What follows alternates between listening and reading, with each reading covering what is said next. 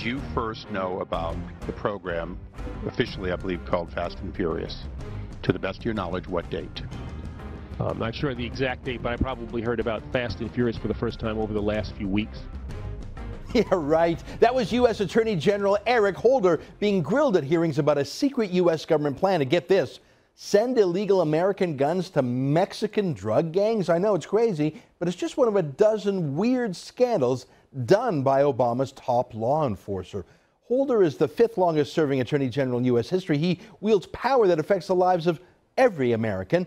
A new book gives us an inside look into the powerful Department of Justice under Eric Holder. In Obama's Enforcer, we discover how Holder bends and ignores the laws and tries to discredit conservatives, even targeting conservative journalists. One of the authors, John Fund, joins us now from New York. John, tell us a little bit about Eric Holder. He's been essentially Obama's right hand man in the law. Where does he come from? What's he like? What's his background?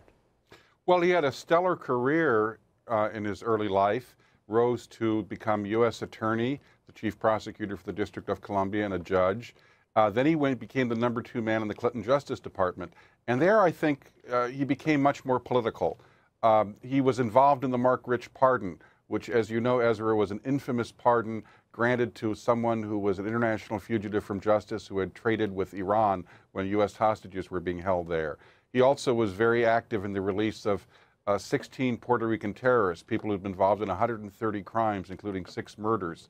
Uh, they hadn't even requested a pardon, but Holder engineered a pardon for them, and they apparently were this this was done for political reasons because Hillary Clinton was running for the Senate in New York in 2000, uh, where there was a large Puerto Rican community. He became involved with Barack Obama after Obama's election to the Senate. They clicked. They clearly were of like mind. And ever since then, Holder has been his political wingman. Now, an attorney general has to follow the enforcement priorities of his president, but he also has to uphold the rule of law. And too many times when there's been a fork in the road and he has to choose between the rule of law and politics, Holder has unfortunately chosen politics. Uh, you're so right here. Let me quote from your book. I, I think this uh, will give us an example of this for our, our readers who are our viewers who are curious.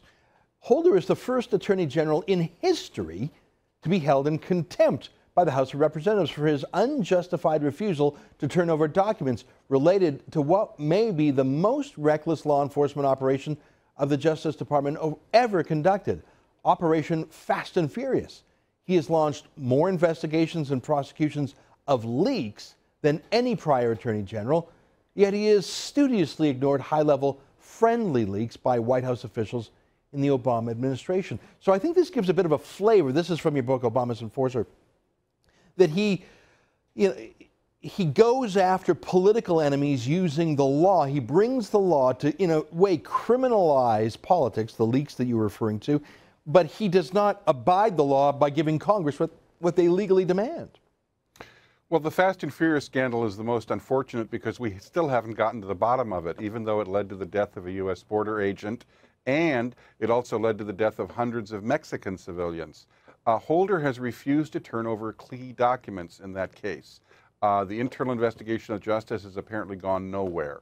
Uh, we know that there is something in those documents because we do now have the index uh, describing what the subject matter is, and it's clearly relevant to what Congress's oversight capability is looking for.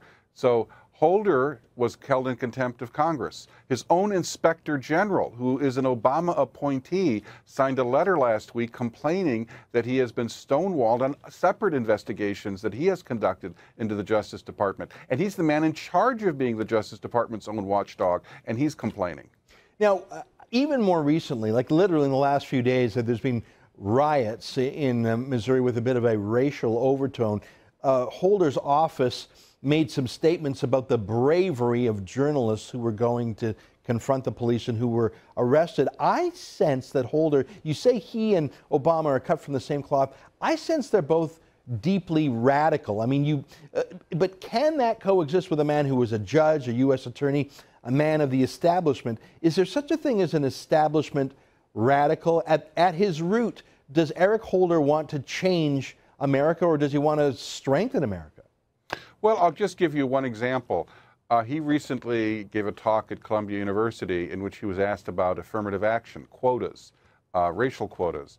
And he was asked, Do you see a day when affirmative action is going to no longer be necessary? As Sandra Day O'Connor, the Supreme Court Justice who lost upheld affirmative action, said. And he said, No, uh, I don't ask when affirmative action will end. I ask, when will it ever begin? And he said, We're going to have to have this forever. Well, this is not the colorblind society envisioned in our Constitution after the Civil War, or by Martin Luther King himself, who spoke to a society in which we look to the content of our character, not the color of our skin. Well, I mean, when Obama was campaigning, he said, We're not Democrats or Republicans, we're black or white, we're just all Americans. I think he, Obama pa- passed himself off as a post racial president, but he, he seems to focus not just on race divide, but on class divide. Has Eric Holder used the, the law to go after uh, corporate enemies of Obama? Has he been uh, a tough guy on those files too? Well, yes, the Justice Department has enormous discretionary power. They often go to companies and say, You seem to be in some legal trouble here, or we could find some legal trouble. They force out of court settlements. I call them green mail, usually in environmental cases, in which the company basically, to avoid bad publicity, settles. The Justice Department gets some money, and they ask you for it to be transferred to the National League Resources Defense Council or the Sierra Club or some other left-wing advocacy group. They literally uh, shake down. So the government, Eric Holder, the Department of Justice boss, the Attorney General, shakes down a company, and the money doesn't go to the government; it goes to one of these left-wing lobby groups. Is that how it yes. works? That's incredible. Yes, Saul Alinsky, Saul Alinsky would be proud. Huh, that's amazing. John Fund, the book is called Obama's Enforcer. It's great to have you on the show. Hope to have you on again soon to talk about so many things. Folks, you can get the book on Amazon.